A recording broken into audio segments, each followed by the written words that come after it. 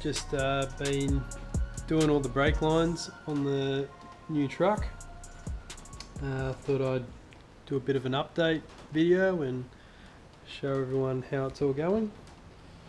But yeah, we got the master cylinders in the other day. Um, got our hardline brakes all in place.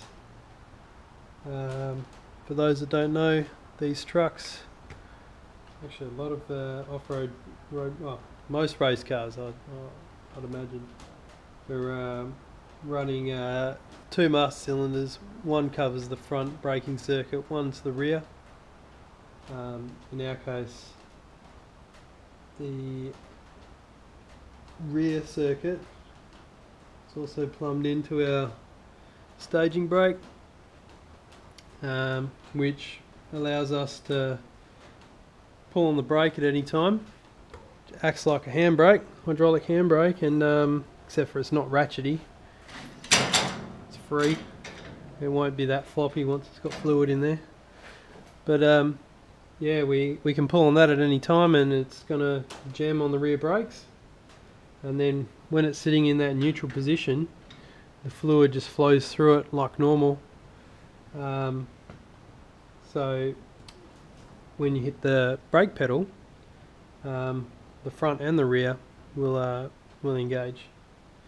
Um, we also set up our balance bar. So we've got our two master cylinders in here. This is our balance bar adjustment, just done from here.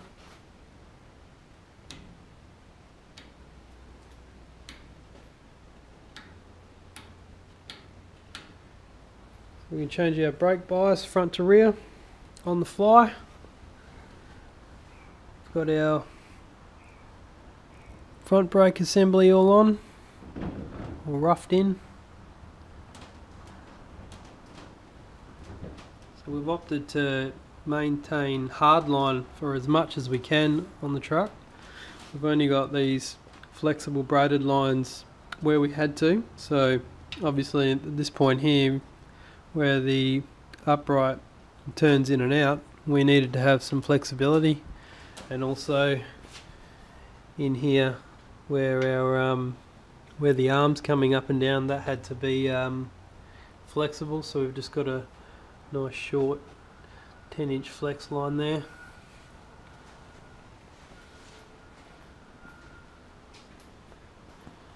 And of course we've got our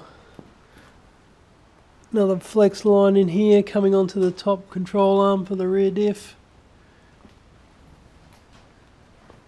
And it runs down and back into hardline we've put all the hard lines on the back sides of things. So most of the time we're going to be um, most of the time we're hopefully going to be traveling forward. So the idea was put the brake lines on the back side of everything then gives it a bit of mechanical protection so we don't uh, unnecessarily rip any brake lines off. So yeah that's where we're at with the truck. Uh, start doing the fuel lines today. Um, yeah thanks for watching. If you haven't already like us on the uh, Team Outlaws 4x4 Facebook page and um, subscribe to our YouTube channel. Thanks